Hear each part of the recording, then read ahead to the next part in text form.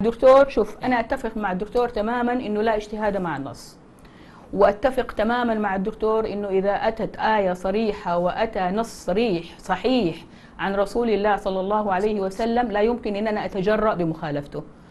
ال- اطيعوا الله واطيعوا الرسول هذه أتفق فيها تماما يعني ماني من الأشخاص اللي ممكن ينكروا السنة أو ينكروا فضلها. لا يمكن أكون من هؤلاء الأشخاص بإذن الله. آه لكن أنا في ال في ال في ال في هذه الأمور بالنسبة للسنة أتوقف كثيرا. وأنا يعني آه، أجد قدوتي في هذا الموضوع هو سمو صاحب السمو الملكي الأمير محمد بن سلمان. عندما ذكر أننا في نأخذ بالم- بالقرآن لأنه نصوص قطعية لا يدخل إليها الشك. هذا اولا. ثم نلجأ إلى النصوص المتواترة لأنه أيضا لا يربى لا يرقى إليها الشك.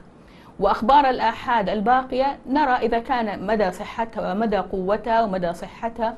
وبعد كده ممكن إننا ناخذ بها أو لا ناخذ بها. لو كان الرسول حاضرا أمامي حاضرا أمامي لا يمكن كنت أعترض ولا حتى أفتح معايا أنا يعني مع بأي بأي كلمة يعني. لكن هذه الأحاديث وهذه النصوص أكثرها جدا وصلنا عن طريق من أجيال مختلفة يعني و- وعليها مشاكل كثير. فهنا هذه المشكلة. أنا لا أرد قول الرسول بحد ذاته ولكن المشكلة المشكلة في هل فعلا هو قاله؟ كم نسبة الصحة في هذا القول؟ كم نسبة الصحة يا دكتور؟ آه ف... يعني إذا كان الله عز وجل يقول وما آتاكم الرسول فخذوه. وهو الله تبارك وتعالى وهو أعلم العالمين سبحانه وتعالى.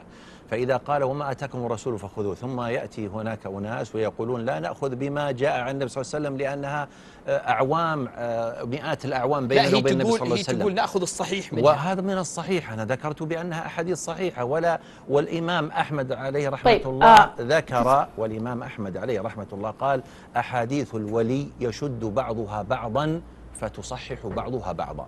ولهذا آه، حكم طيب، بذلك الإمام أحمد عليه رحمة الله بأن الولي آه، واشتراط الولي آه، هو من من أركان الزواج.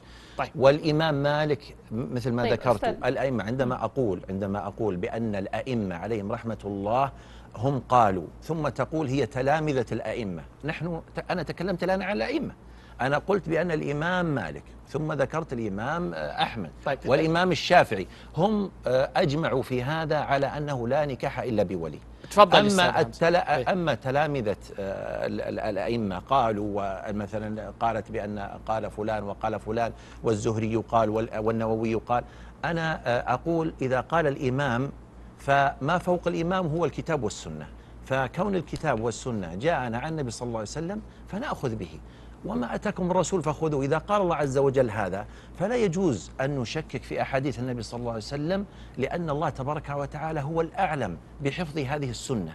لأن هذه السنة قد حفظها الله تبارك وتعالى كما حفظ كتابه. طيب